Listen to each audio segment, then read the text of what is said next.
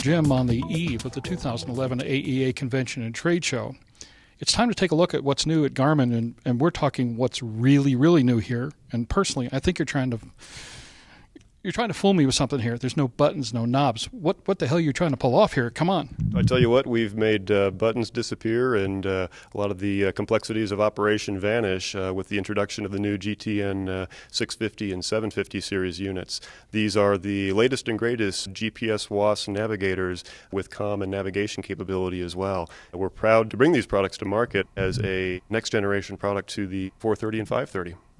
Well, let's face it, the 430 and 530 owned a fair amount of uh, panel real estate over the last couple. Boy, how long? It's been what? Uh, just on 13 years. Yeah, I was about to say about a decade and a half or so. it just about is. And uh, with the introduction of these new products, we have uh, completely overhauled the way we've done everything, both from operations to overall screen size that you have with the unit as well. That's one of the great features of both new GTN series products compared to the predecessors.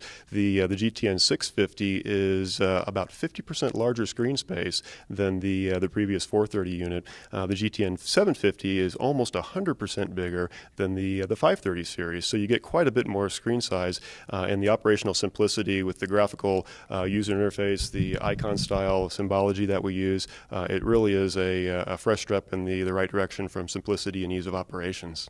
But these are not drop-in replacements for the 530 and 430, are they? These are not drop-in replacements products. That's a true statement. The GTN uh, 650, though, is approximately the same size as the previous 430 units. So although you do need to put a, a new rack inside of the aircraft and there'll be some new wiring as well, the size that the GTN 650 needs is going to work for all existing 430 customers.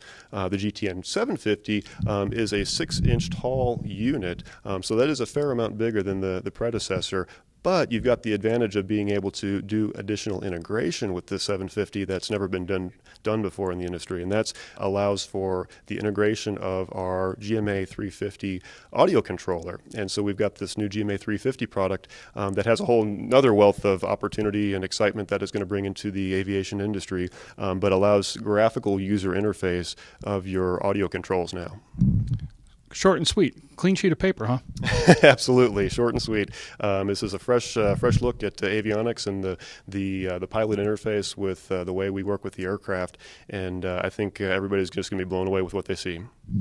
What makes this as revolutionary or as magic as, as, we've been led to believe. Well, I tell you what, it's uh, it's the great screen size, it's the uh, incredible graphics capability of both units, um, it's the added integration that we have now, um, it's the WAAS navigation capability. Um, not only that, you can also fly uh, virtually all ARINC 429 uh, procedures now, uh, with the exception of uh, radius to fixed legs, RF legs. But you can do heading to fixed legs now with this new product when you're interfacing, for example, with a G500 and G600. So you can truly have a hands-off experience when flying your aircraft with this new product. One of the great things that the GTN 650 both and the 750 both can do is the, the transponder functionality. And we've actually integrated through Garmin's uh, GTX 32 or GTX 33 transponder, that's the Mode C and the Mode S transponder. You get all your flight, your uh, transponder functionality wrapped into this as well. You touch on the little box there that's uh, giving your existing squawk, and you can dial in your squawk and press enter and voila. And of course, that's going to cross-fill down into your 650 here as well. Um, if you've got just one transport, or you could support a dual transponder installation with this as well. I noticed during some of your setup something I had seen before when you let us into your super secret semi nuclear labs uh, for the uh, G3000 look we got uh, some time ago, and of course the look we got at the 5000 series during uh, NBAA.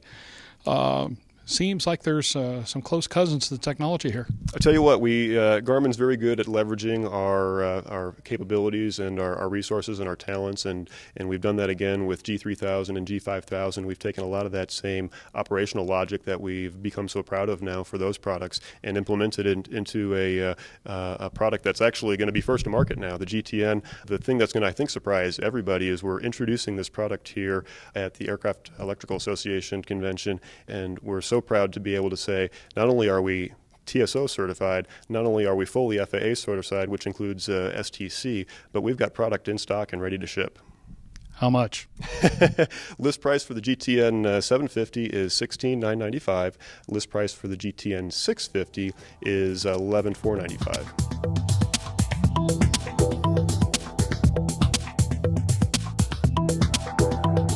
Aero TV is brought to you by Entegra Release 9 sets a new standard with the easiest to use pilot interface in all of general aviation. Access to any of Release 9's powerful capabilities is simple as pressing the desired bidirectional page key. Pressing the same key in a desired direction navigates to the clearly labeled tabs with no more guessing as to what a given pilot input would do.